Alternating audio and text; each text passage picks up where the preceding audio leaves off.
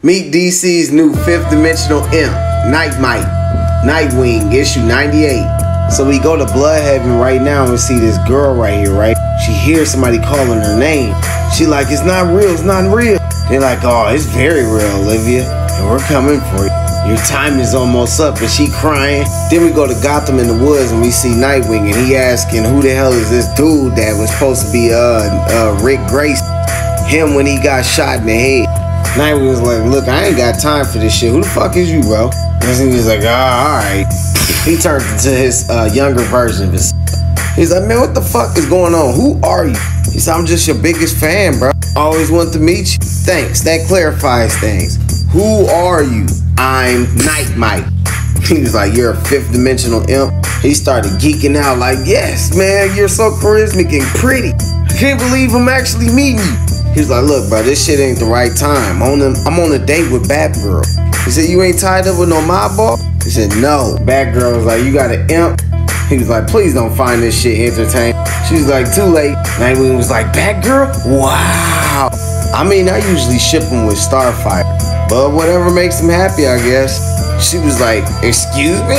Then they was like, Hold on, don't y'all got this thing where y'all trying to figure out if y'all trying to get together? How about we hurry up and speed this shit up? Then he was like, Mayday ass finna get married, and he brought everybody there. They was like, No, no, not yet, not yet. He was like, What's wrong, bro? You don't want to be like this unhappy motherfucker right here. Batman was like, You develop an imp. He's like, Wait, you're Batman, you really here? He's like, Look, he might be an asshole, but even he won't skip your damn uh, your wedding. Batman was like, I ain't got time for this. There's a triple homicide. Nite-Mite was like, Ah, shut up. I don't understand what Bat-Mite sees in you. Get your ass out of here. He was like, Hold on, I got a treat for your dog, Bitewing. Don't you want to see what it is? Did you see what I got the dog? Bitewing is a rare bear, undeniably adorable. But yes, we're sure. I'll get your ass out of here too, Batgirl. So we go over to Blüdhaven uh, and we go to Blockbuster's building. He supposed to be dead. Night uh, Mike said Blockbuster been be gone forever, but he's left trouble behind. Years ago, Blockbuster made a deal with the devil Neron. He asked for greater intellect. Which I guess if he had greater intellect before he asked for it, he would have had uh, imagination to ask for a bit more. The upshot is he sold his soul. At some stage, years later though, Neron renegotiated his deal. He sold someone else's soul, his firstborn. Her name is Olivia. She's your biggest fan, Nightwing. Well, I'm actually your biggest fan, and I invited her to my fan club. We have shirts. Then he told him, with Blockbuster gone, Neron is here to collect. He's sending a horde of demons. Nightwing was like, you got all this power to alter reality. Why can't you save him? He said, I'm not a hero like you, and I can't be evolved direct. Neron is pretty serious when it comes to souls. A war between the underworld and the fifth dimension, that can end very badly. He said, what I can do is give you an amp. When the time comes, use this phrase of power to activate it. You gotta be kidding me. What? Can I please have another phase of power? It's too late. They already here.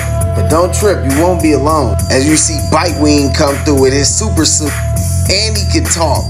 He tells Nightwing that he been a good owner to him. He loves him. So they go up in there to try to go get the girl right. And they see that everybody already knocked out. So they hurry up and they're like, hey, let her go. As you see the demons trying to get, get uh, Olivia. The demon grabbed fucking Nightwing and he was like, this soul belongs to Neron. Don't make me say it. Say what? Nightwing is awesome.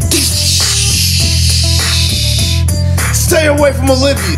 Ah! Then he threw that bitch at his ass.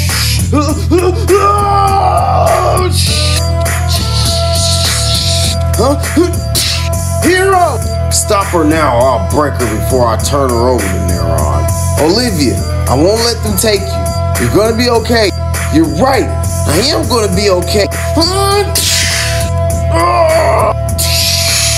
That girl strong as hell because her dad's strong. So after that, uh, Nightwing calls up Raven to take on the girl. And Night, uh, Raven was like, You got an imp? He's like, Don't get me started. Raven was like, Don't worry, my dad is a monster too. You're gonna be safe with me.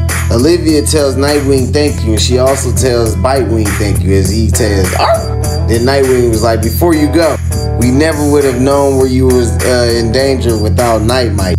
He's a hero. Nite-Mite was like, I'm not. As she comes in and hug him like, thank you, Nite-Mite.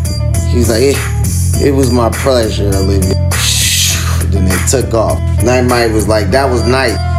Nightwing was like, you're not like the others I met. Nite-Mite was like, thank you. I've seen how annoying Bat-Mite and Mixie can be, and I don't want to be like that guy. I've been watching for years. I tried to learn a thing or two. Nightwing was like, what's your name? He said, you forgetting shit? My name's Nite-Mite. He said, no, what's your real name? Because I shouldn't be your whole identity. If you have, uh, if you have impossible expectations of me, then at some point I'm not going to meet them. It's okay to be a fan, but you shouldn't put anyone or me on that big of a pedestal. I'll go first. My name is Dick Grace. He said his name is Dixon. And they ended by him saying, "There's a hole in this city. There's a hole in this world, and I honestly think who could you could feel it." Nite-Mite ends it by saying, "There's a hole in the city. There's a hole in the world, and I honestly think you could feel it." You want to know why? Because Nightwing is awesome.